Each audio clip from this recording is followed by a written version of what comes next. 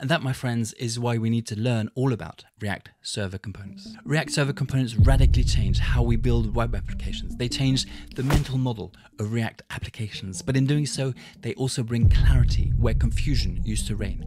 The Next.js team has just announced that the app directory, Next.js's implementation of React Server Components, is stable enough to be used in production. This is the perfect opportunity to dive into React Server Components to explore what they are and why we need to learn how to use them, and how React Server Components change how we code in React and in Next.js. And truth be told, I set up my personal website to make use of Next.js's app directory, and I've been developing various features using the app router and Next.js's implementation of React Server Components.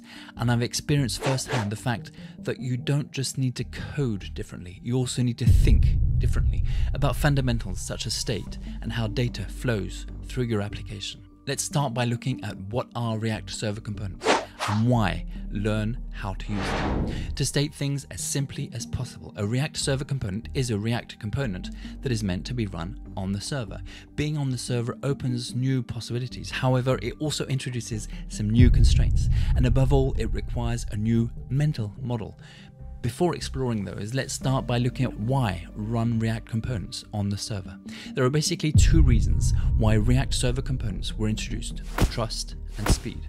First, let's look at speed. Because the server is located right next to the database, it can fetch all the data it needs locally without having to go through the internet. This means pages that load faster and therefore provide a better user experience and rank better. The server also lets us keep secrets safe, passwords, API keys, scores, game logic, card numbers, and more. A common mistake I see junior developers make is they tend to think that they can trust their end users to use the code as they intended. The truth of the matter is that most users will use our code as we intended but some won't.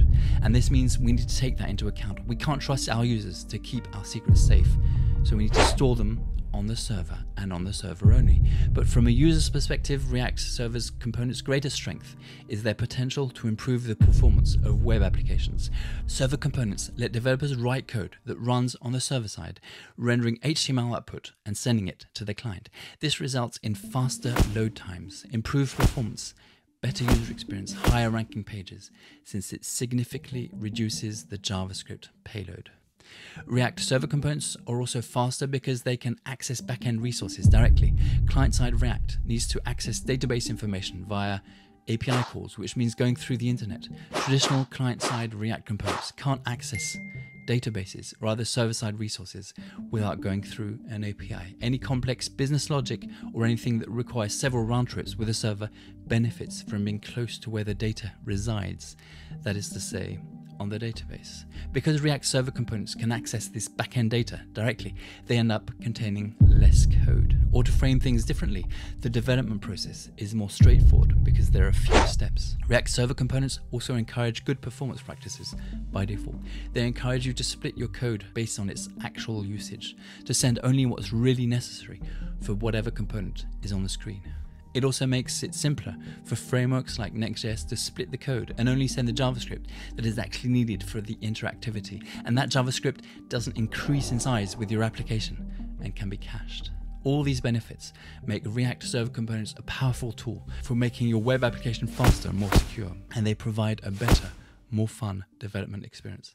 However, React Server Components are not without their own pitfalls and difficulties. React Server Components, in fact, introduce new difficulties. First, as I mentioned previously, coding with React Server Components is a whole new mental model. In particular, how we think about state and data flow needs to change when we're using React Server Components. React Server Components, as the name implies, run on the server, not on the client. This means they can't access browser APIs or the DOM, the document object model.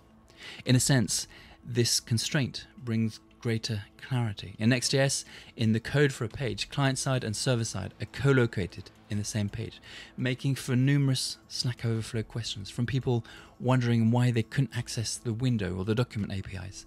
So maybe this is a good thing. However, the DOM and browser APIs aren't the only thing that don't exist on the server.